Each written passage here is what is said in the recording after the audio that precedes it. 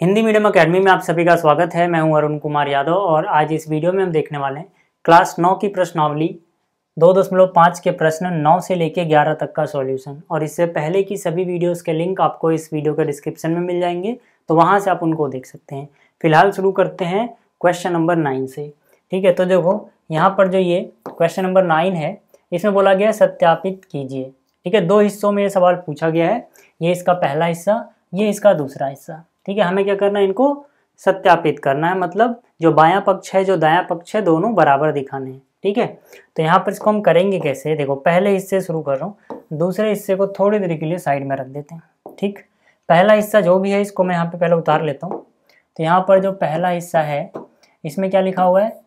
X की घात तीन जमा में क्या है? वाई की घात तीन, यानी एक्स का घन वाई का घन बराबर होना चाहिए एक्स जमा वाई और दूसरे ब्रैकेट में क्या है? एक्स की घात दो माइनस एक्स वाई प्लस में वाई की घात दो। ठीक है? तो ये है अपने पास क्वेश्चन अब इसको हम कैसे करेंगे, उसकी बात करते हैं। देखो, हमें क्या करना है? हमें सत्यापित करना है। सत्यापित करने का क्या मतलब हुआ? कि यहाँ पर जो ये बायां पक्ष है और जो ये दायां पक्ष है, ठीक है? ये दोनों हमें बराबर दिखाने हैं। ठीक है, जो ये पक्ष है, इसको हम बोलते हैं लेफ़्ट हैंड साइड यानी कि एलएचएस या फिर आप हिंदी में बोलो तो इसे बायां पक्ष बोलो, ठीक है? या फिर आप एलएचएस बोल दो। और जो राइट में है, इसे हम बोलते हैं आरएचएस यानी दाहिना पक्ष या दाया पक्ष, और इंग्लिश में बोलते हैं आरएचएस यानी राइट हैंड साइड ठीक है तो हमें दोनों को बराबर दिखाना है। तो यहाँ पे हम इन दोनों को बराबर कैसे दिखा सकते हैं, अब उसकी बात करते हैं। देखो यहाँ पर तो कुछ सोल्व करने लायक नहीं है। सिंपल x की घात तीन, y की घात तीन है। इसको ऐसे रहने दो। हम शुरुआत करेंगे आर एच एस से, यानी इस साइड से, ठीक है? तो जो भी यहाँ पर आर एच एस में था, मैं वहाँ से उसको कॉपी कर रहा हूँ, ठीक है? तो आर एच एस में अपने पास है x प्लस वाई और दूसरे ब्रैकेट में अपने पास है x की घात दो माइनस एक्स वाई प्लस में y की घात दो, ठीक है? इसको सॉल्व करते हैं। अगर मान लो मैं इसको सॉल्व करता हूँ और किसी तरह से ये इसके बराबर आ जाता है तो कहने का मतलब क्या है कि इसको सोल्व करने से अगर ये आ गया तो दोनों आपस में बराबर है। ठीक है तो सत्यापित हो जाएगा कि दोनों चीज़ें ठीक है। तो देखो कैसे करेंगे। अब यहाँ पर ये ब्रैकेट है, ये ब्रैकेट। तो हम क्या करेंगे? पहले ये x जाएगा, इससे गुणा होगा, इससे गुणा होगा, इससे तीनों से गुणा होगा। उसके बाद y भी इन तीनों से गुणा होगा। कैसे करोगे? देखो, पहले x गया, x की घात दो के पास। गुणा होके कितना आया? x की घात तीन। ठीक? फिर x यहाँ पे जाएगा, x गुणा में x करोगे, x की घात दो हो जाएगा, साथ में y भी था। ठीक है, यहाँ प्लस माइनस माइनस होगा। फिर x जाएगा इसके पास। ठीक है, यहाँ क्या हो जाएगा, x और ये y की घात दो। ठीक है तो x का गुणा हो गया सबसे। अब इसी तरह से y की गुणा करोगे। ठीक है तो यहाँ पर y गया पहले इसके पास एक्स स्क्वायर और ये वाई ठीक है तो ये क्या हो जाएगा, ये हो जाएगा एक्स स्क्वायर वाई यानी एक्स की घात दो वाई फिर यहाँ पे गया, ठीक है? तो यहाँ पे एक्स तो पहले से ही है वाई और वाई वाई की घात दो और साथ में एक्स भी रहेगा, ठीक है? तो यानी इनको गुणा करने पे क्या हो जाएगा? इनको गुणा करने पे हो जाएगा एक्स तो ऐसे ही रहेगा वाई की घात दो। और यहाँ पे प्लस माइनस माइनस फिर यहाँ पे जाएगा, देखो वाई की घात तीन हो जाएगा वाई गुणा वाई की घात दो है यहाँ पर, वहाँ पर वाई की घात एक है। तो ये कितना हो गया? वाई की घात तीन। ठीक? अब अगर आप इसको ध्यान से देखो तो यहाँ पर ये एक्स की घात दो वाई है माइनस में और यहाँ पे एक्स की घात दो वाई है प्लस में। तो इसमें ये जोड़ोगे ज़ीरो हो गया। इस तरह से यहाँ पर ये चीज़ देखो माइनस में है सेम चीज़ प्लस में है। तो एक ही चीज़ माइनस प्लस में होगी तो ज़ीरो हो जाएगा। क्या बचा यहाँ पे? एक्स की घात तीन। और यहाँ पे क्या बचा? प्लस में वाई की घात तीन। तो देखो, हमने इस हिस्से से शुरुआत करी और हम यहाँ पे पहुँचे हैं। और ये क्या चीज़ है? जो यहाँ पे लिखा हुआ है लेफ़्ट में इसके, ठीक है ना? लेफ़्ट हैंड साइड में, यानी कि बाएँ पक्ष में। तो दाएँ और बाएँ पक्ष दोनों आपस में बराबर हो गए। ठीक है ना? ये चीज़ यही तो है। तो हम कह सकते हैं R H S L H S यानी कि दाहिना और बायां दोनों पक्ष बराबर हैं तो ये सत्यापित हो गया कि हाँ भाई, ये ठीक लिखा है। आप एक बात याद रखना, ये जो चीज़ लिखी हुई है, ये बहुत सारे सवाल में एक फॉर्मूले की तरह इस्तेमाल होगा। तो आपको ये याद रखना है एज ए फॉर्मूला मतलब फॉर्मूले की तरह आपको इसको याद रख लेना है। आगे आने वाले सवालों में हम इसका इस्तेमाल करेंगे, ठीक? तो ये हो गया पहला हिस्सा, दूसरे हिस्से की बात करते हैं। यहाँ पर देखो, जो इसका दूसरा हिस्सा है, ठीक है, वो ये रहा। अब दूसरे हिस्से में हम क्या करेंगे? सीधा मैं इसके दाहिने पक्ष से शुरू कर रहा हूँ मतलब इसका आर जो है वो सीधा कॉपी कर ले रहा हूँ यहाँ पर ठीक है? तो इसके आर एच एस में सीधा सीधा क्या लिखा है? एक्स माइनस वाई और यहाँ पर क्या है? X की घात दो, जमा में एक्स वाई जमा में y की घात दो। अब तो ये आपको समझ में आ गया होगा कैसे करेंगे। जैसे पिछले सवाल था, वैसे ये भी है। तो यहाँ पर देखो, x गुणा में एक्स की घात दो करोगे, x की घात तीन हो गया। फिर x यहाँ पे जाएगा, x की घात दो, साथ में y भी है। तो x की घात दो, साथ में y भी है। फिर ये इसके पास जाएगा, x गुणा में वाई की घात दो। ठीक है? ये तो बहुत नकली सवाल है, कोई दिक्कत नहीं होगी।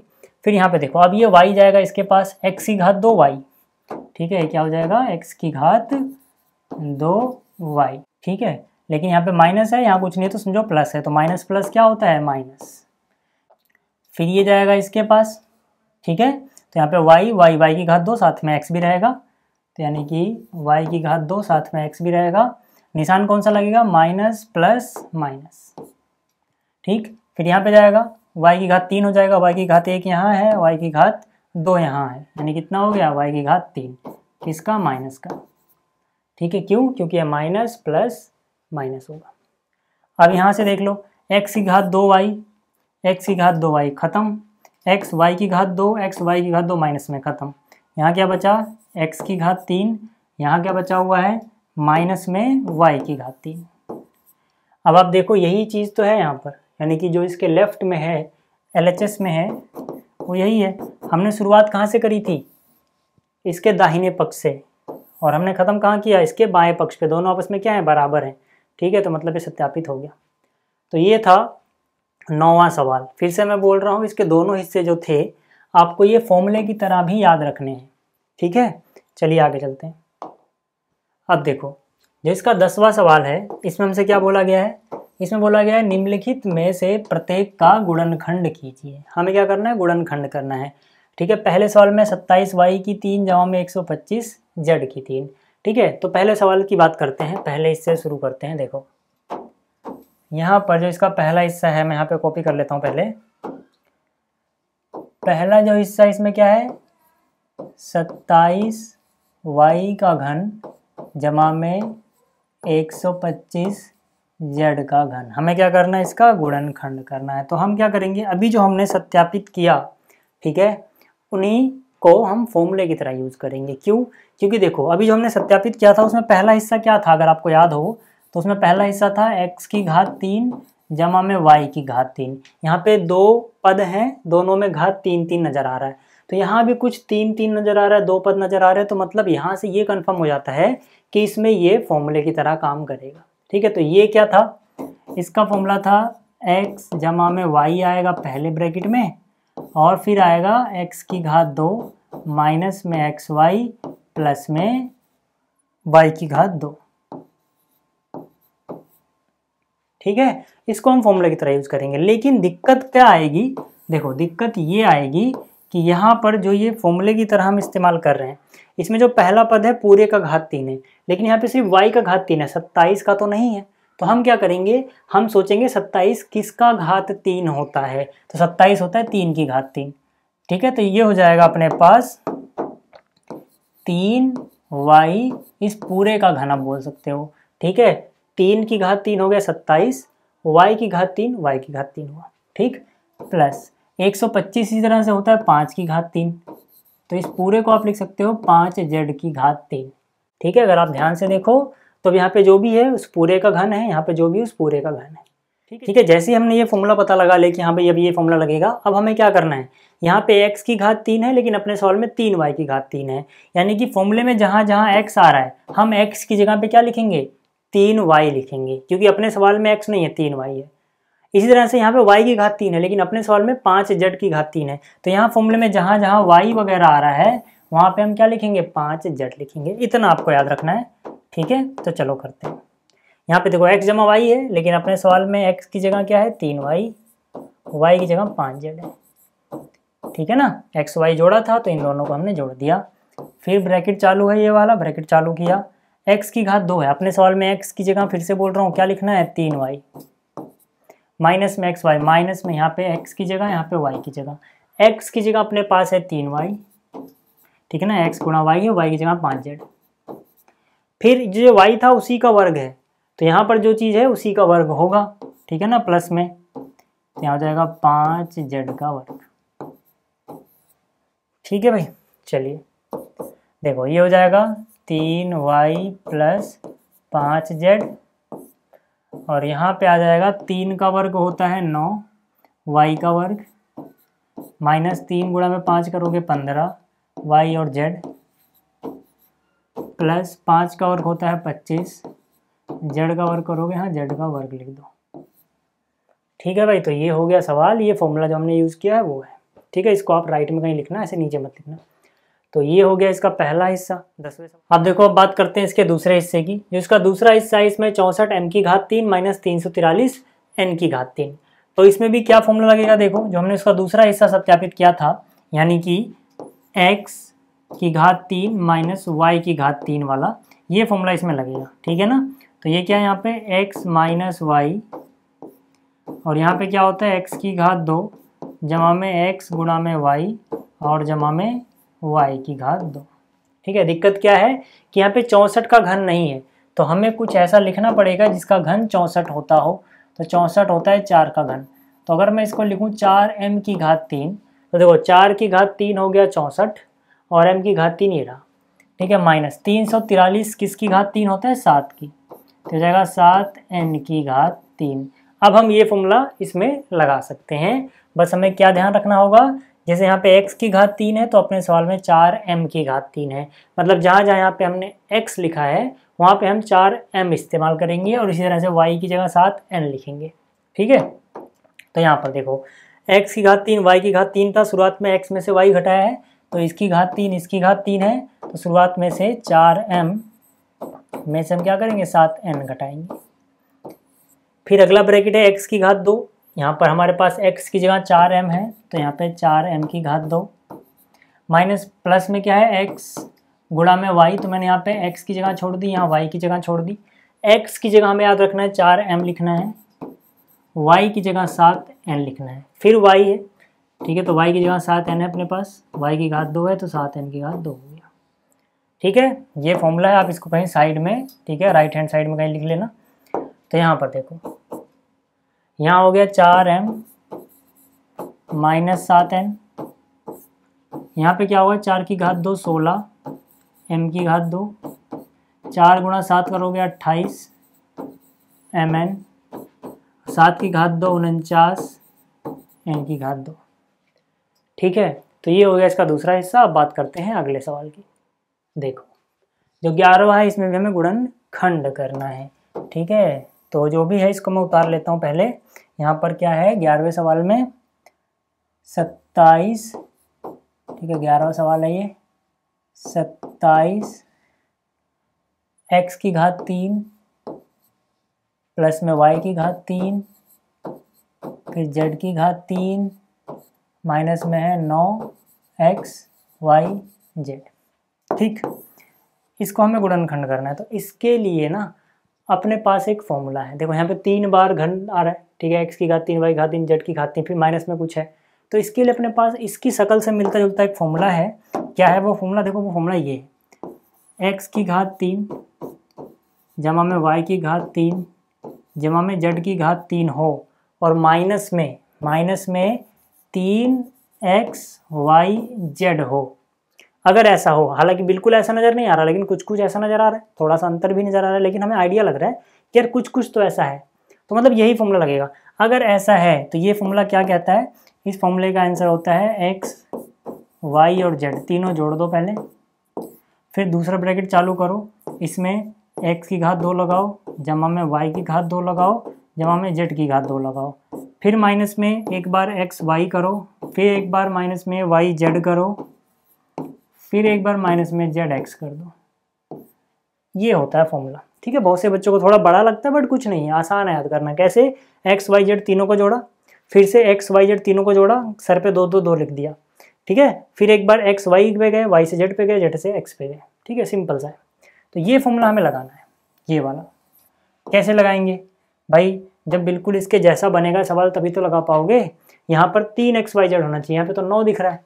तो कुछ तो गड़बड़ है, हमें वो ठीक करना पड़ेगा, ठीक है? दूसरी बात, यहाँ पे एक्स की घात तीन है। यहाँ पे x की घात तीन तो है, लेकिन साथ में सत्ताईस भी है। तो हमें सत्ताईस का भी कुछ करना पड़ेगा कि वो भी किसी की घात तीन बन जाए, ठीक? चलो देखते हैं, क्या कर सकते हैं यहाँ पे। यहाँ पे क्या है? सत्ताईस होता है तीन की घात तीन तो इसको हम लिख सकते हैं तीन एक्स की घात तीन। यहाँ पे तो वाई की घात तीन है, बिल्कुल ठीक है, कोई दिक्कत नहीं है। यहाँ पे जेड की घात तीन है, कोई दिक्कत नहीं है, माइनस। अब हम आएँगे फॉर्मूले पे। फॉर्मूले में जो यहाँ पे है एक्स, वाई, जेड, इसके पहले होना चाहिए तीन, लेकिन अपने पास है नौ। हम ज़बरदस्ती तीन लिखेंगे। ठीक है, भले ही नौ था हमने क्या लिख दिया? तीन लिख दिया। फिर यहाँ पे एक्स के लिए, वाई के लिए, जेड के लिए जगह छोड़ दी मैंने। अब देखो, अब हमारा एक्स क्या होगा?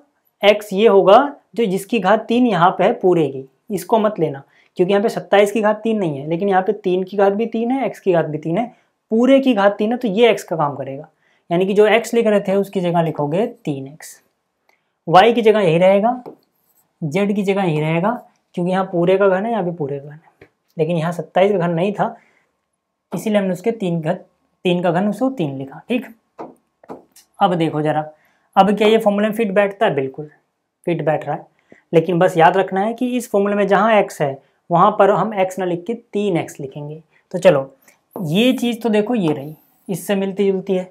एक्स की घात तीन की जगह ये है, वाई की जगह ये है, जेड की जगह ये है, इसकी जगह ये है। तो मतलब हमें ये नीचे वाली लाइन लिखनी है। ठीक है ना? इसकी जगह तो ये लिखा हुआ है। अब हमें नीचे वाली लाइन लिखनी है। क्या करेंगे? देखो।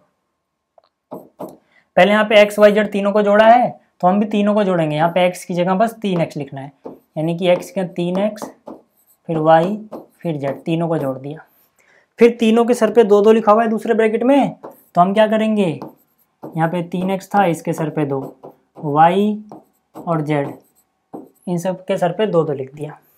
फिर माइनस में x y y z z x है तो हम भी क्या करेंगे? माइनस में, देखो यहाँ पे एक्स वाई जगह नहीं है तो यहाँ नीचे लिख रहा हूँ माइनस में वाई जेड माइनस में जेड एक्स फिर ब्रैकेट खत्म। फिर से समझो। यहाँ तक ये रहा, इसके बदले में ये रहा। फिर माइनस में एक्स वाई तो माइनस एक्स वाई जगह छोड़ दी। माइनस में वाई जेड माइनस में वाई जेड जगह छोड़ दी मैंने।